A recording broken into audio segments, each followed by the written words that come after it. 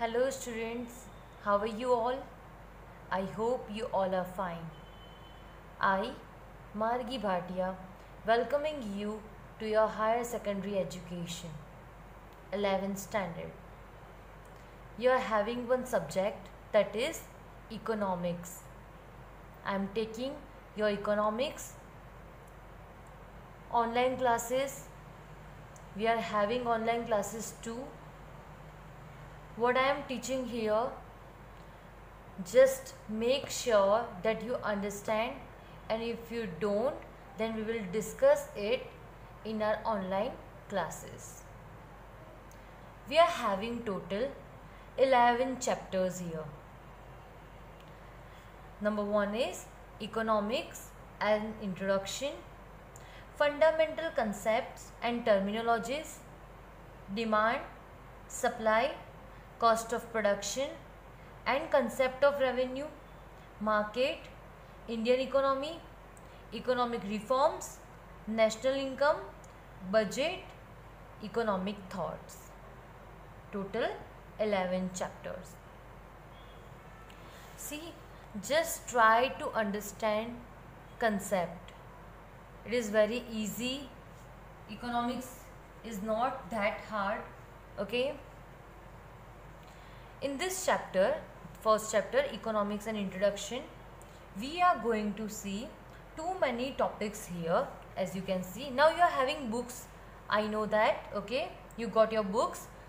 So, the first is introduction part, meaning of economics, economics in Indian thought, then development of economics as a science in the West we are having four experts. Definition of economics by adam smith. Definition of economics by alfred marshall. Definition of economics by lionel robbins. Definition of economics by paul samuelson. Okay? Economic activity and non-economic activity. Microeconomics and macroeconomics. Though we are having too many topics here but I will not confuse you, confuse you by uh, telling such names right now. Okay. So first let's start with introduction part.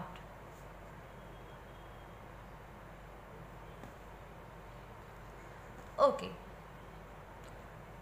Now we are human beings. We are intellectual creatures. Why? Because we because we are intelligent again we are human being and we are intellectual creatures. Because we are having intelligence we can think intelligently right?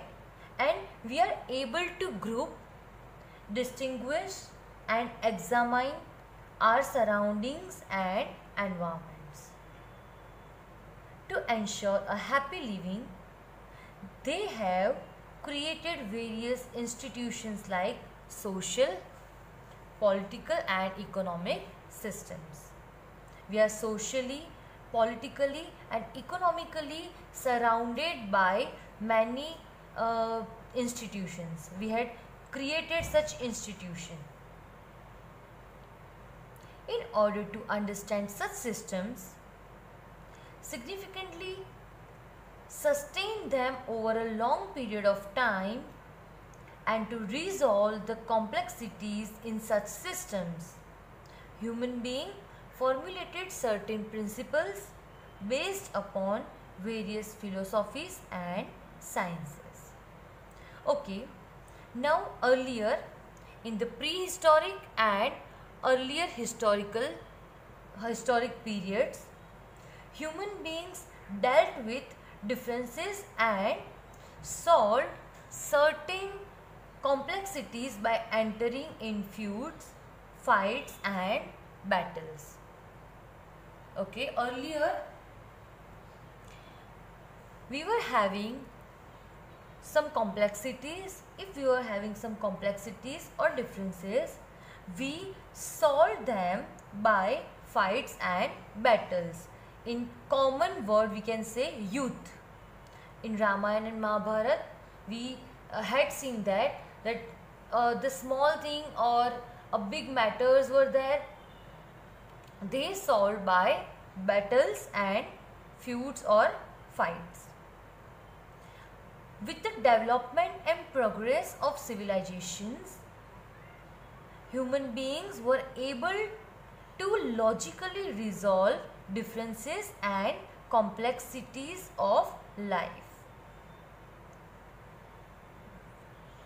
By passing time or with the passing time human civilizations or sorry human beings or civilizations progress happen and human beings able to solve these differences with logical or philosophical principles. And economics developed as philosophy and science of rational economic behavior. And economics developed as phil uh, philosophy and science of rational economic behavior. Okay very easy. Earlier when complexities and differences were there human beings were used to enter in feuds fights and battles but now with the development and progress of civilization we resolve differences and complexities by uh, logical and philosophical principles. Meaning of economics The word economics in Indian thought is Arthasastra. In Indian thought is Arthasastra which is derived from Sanskrit word earth which is derived from Sanskrit word earth meaning purpose or goal. Earth means purpose or goal. And thus Arthasastra in Sanskrit means the science of benefits or purpose in practical life. Again, the science of benefits or purpose of sorry purpose in practical life it describes that the person of you the sorry the purpose of human behavior is to seek benefits means if we are doing or if we are behaving something sorry if we are doing something our purpose is to seek benefits only so it describes that the purpose of human behavior, our behavior or our behavior depends upon some benefits. The English word economics is a derivative from Greek word oikonomos. Okay, in Indian thought it is Arthasastra that may earth means purpose while English word is derivative from Greek word oikonomos. Now here oikos means households. Oikos means household and nomos means management. So oikonomos means management of households. Okay, oikos means households and uh, nomos means management. So, oikonomos means management of households. Okay. So, meaning of economics in Indian thought and English word oikonomos, I guess it is clear. Okay. Economics in Indian thought. The history of Indian culture is almost more than 5000 year old. Okay one marks question. The history of indian culture is almost more than 5000 years old. And thus indian philosophy depicts means shows.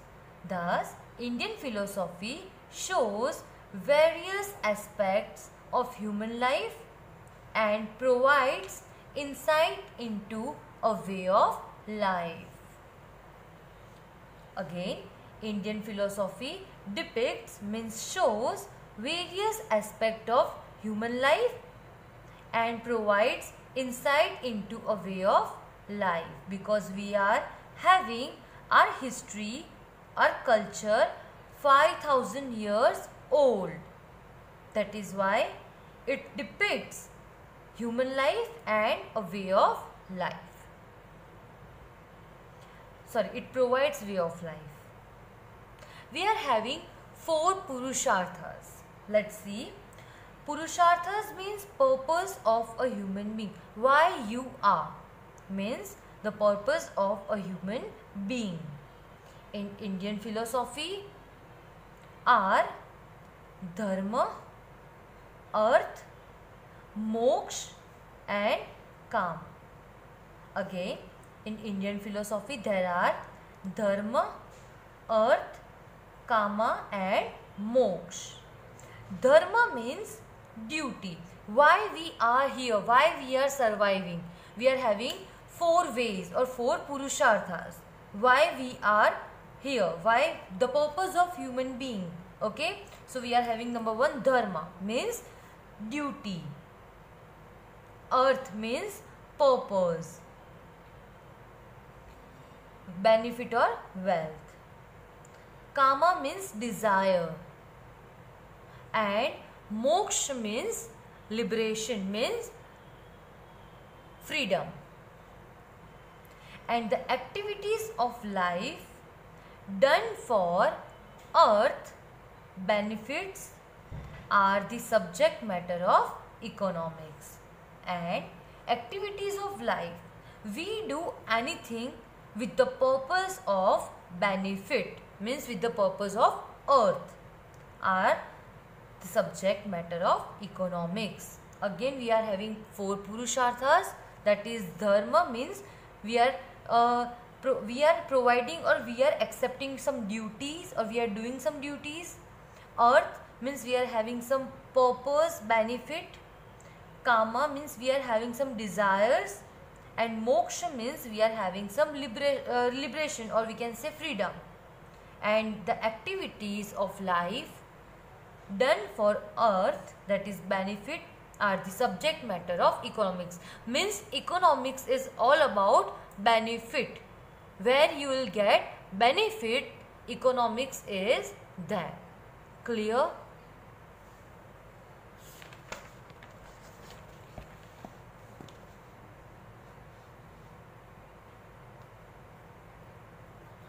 Any activity done with the purpose of obtaining some benefit? Okay tick here. Any activity done with the purpose of obtaining some benefit is called economic activity and it is one of the four goals or duties of human being to create wealth as a means of living and for material pleasures. In other words, perform activity for benefits. Let me give you one example. Teachers. Teachers are human beings. They are providing service to students and in return she is getting she or he is getting some benefit. So this activity is called economic activity. For example, doctor.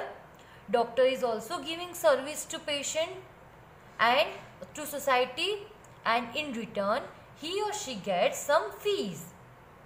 This activity is called economic activity. Okay, it is very easy. Any activity with the purpose of obtaining some benefit is called an economic activity and it is one of the four goals or duties of a human being to create wealth as a means of living and for material pleasure.